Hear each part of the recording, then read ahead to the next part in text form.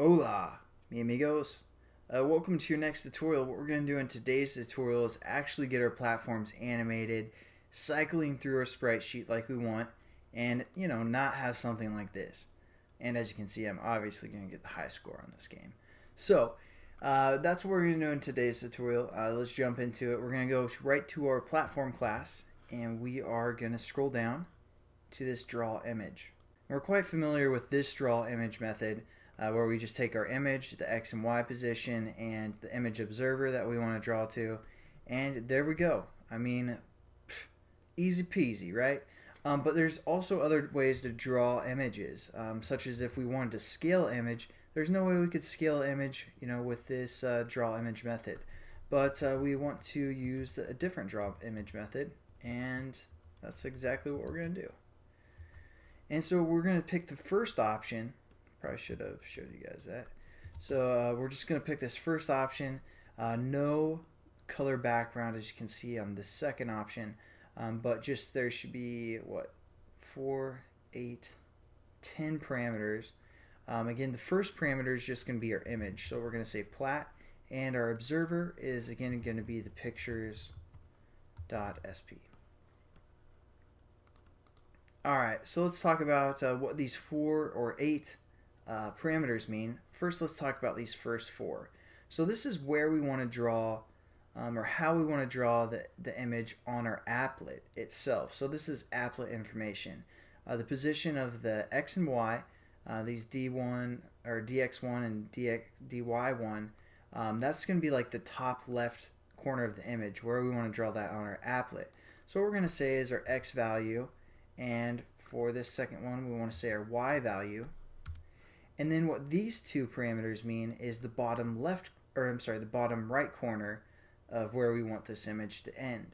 So we're going to say our x position plus the width, and uh, you know, that's the width that we want. So 120 pixels away from the current x position is how wide our image is going to be drawn on our applet.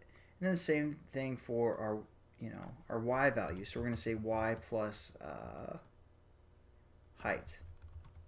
So 40 pixels down from wherever our current y value is.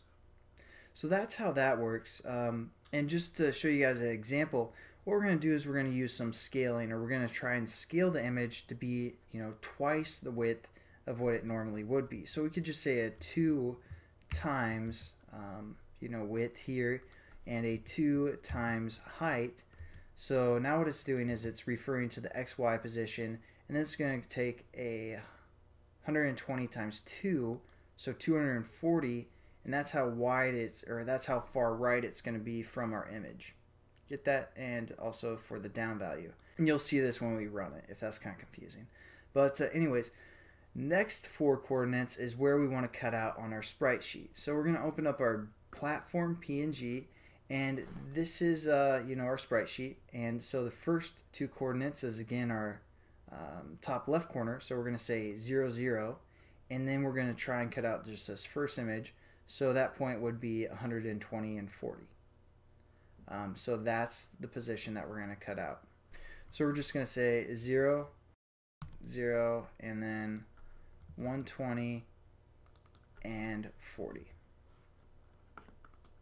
so now let's comment out uh, this, this draw image here, save this, run it, and as you can see we have some huge platforms, twice the, you know, twice the width and twice the height. Um, there won't be any collision detection on, you know, this half, but that's kind of how that works. So we can scale images pretty easily uh, with this method. So let's take at least times two, or two times I should say. Um, and also another cool thing, I don't know. If you guys don't have the X and Y values, I don't know. It looks kind of cool. Um, kind of 3D. I don't know. Maybe I think things are cool that really are just stupid. So, anyways, just I'd suggest playing around with images and uh, you know this draw image function. See how it works. Pretty easy once you get the hang of it. Um, but you know we're just gonna have our X Y. So that's cool. The next thing that we want to do is we want to be able to cycle through all three of these images.